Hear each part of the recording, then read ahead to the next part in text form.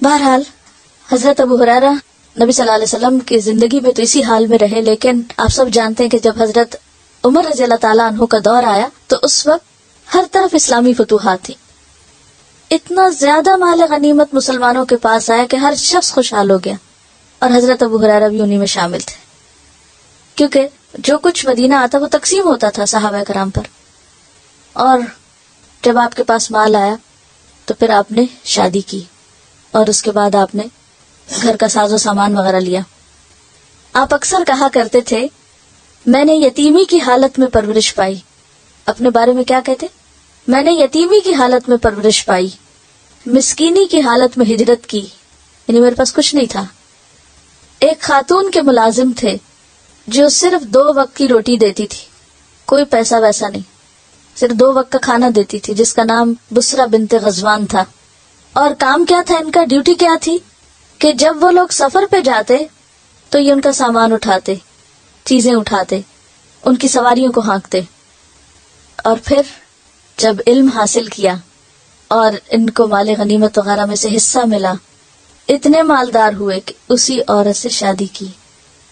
वो औरत जो आपकी मालिक थी, आज आप उसके शोहर थे।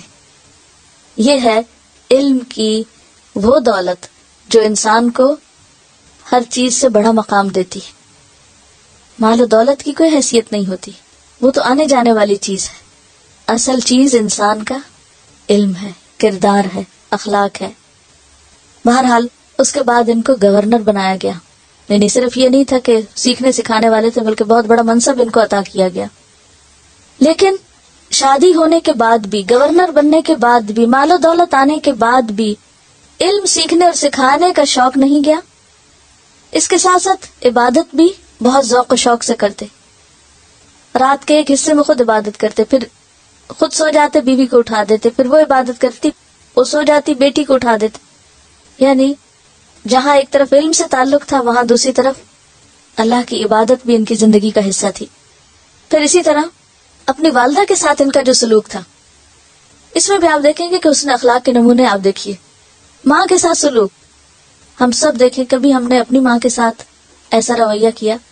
ज़िंदगी भर माँ के फर्मा बरदार और खिदमत गुजार रहे। जब घर से बाहर जाते तो माँ के दरवाजे पे आके खड़े हो जाते। सलाम करते। माँ जवाब देती। फरमाते, अम्मा जान, अल्लाह आप पर उसी तरह नवाजिशात की बरखा बरसाए। अल्लाह आपके ऊपर रहमतों की बारिश करे, जिस तरह आपने बचपन में मेरी परवरिश की। वो जवाब में कहती, अल्लाह तुम पे अपनी रहमतें करे, जिस तरह तुम बुढ़ापे में मेरी खिदमत कर रहे हो। और फिर उसके बाद वो घर से निकलते। ये उनका रोज़ाना का मामूल था।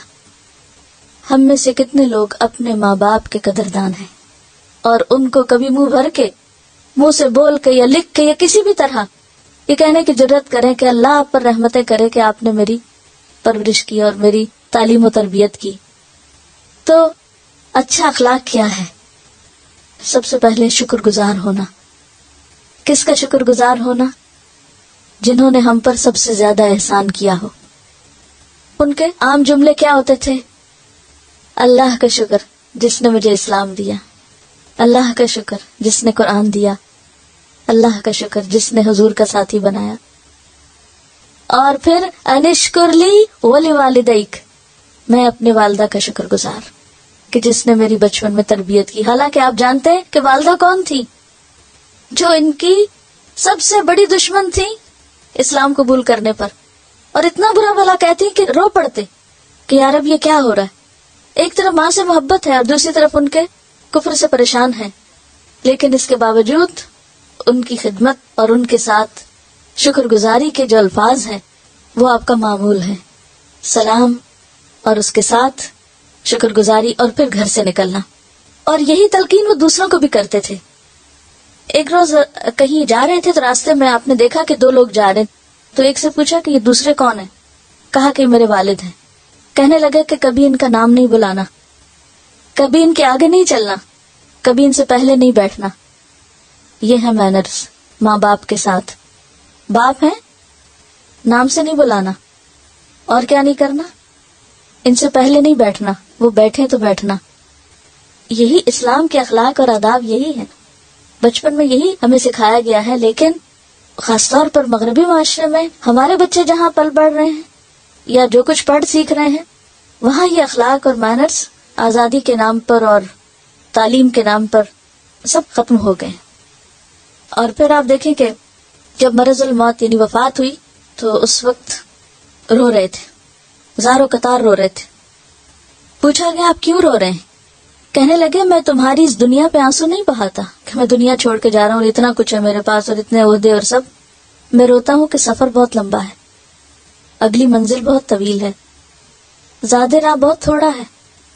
ये उम्मत का वो शख्स है जिसने सबसे ज़्यादा हदीस रिवायत की हैं। कहता ज़्यादा राह बहुत थोड़ा है। और ये सारी हदीसें ने जबानी याद थी। ऐसा नहीं था कि सिर्फ़ देख देख के कहीं से पढ़ के सुना रहे थे। सब हिफ्स थी, जो उनके सीने में साथ जा रही थी। किताबें तो नहीं साथ जाती ना? वो जाता है जो हमारे अमल में हो और हमारे सीने में हो। और कहते हैं कि जादेरा बहुत थोड़ा है। मैं उस रास्ते पे खड़ा हूँ, जो मुझे या जन्नत में ले जाएगा या जहन्नम में ले जाएगा। मैं नहीं जानता मेरा अंजाम क्या होगा। फिर दुआ की, या अल्लाह मुझे तेरी मुलाकात का शौक है। तेरी मुलाकात मुझे महबूब है। तू भी मेरी मुलाकात को महबूब समझ और मुझे जल्द अपने से मिला। और थोड़ी ही देर गुजरी थी कि आपकी वफात हो गई। ये है वो हज़रत अबू हरारा, जिनका नाम आप मुख्तलिफ़ अहादीस में सुनते रहेंगे। सबसे ज़्यादा अहादीस की रिवायत में जिसका ज़िक्र आता है, वो अबू हुरारा ही है।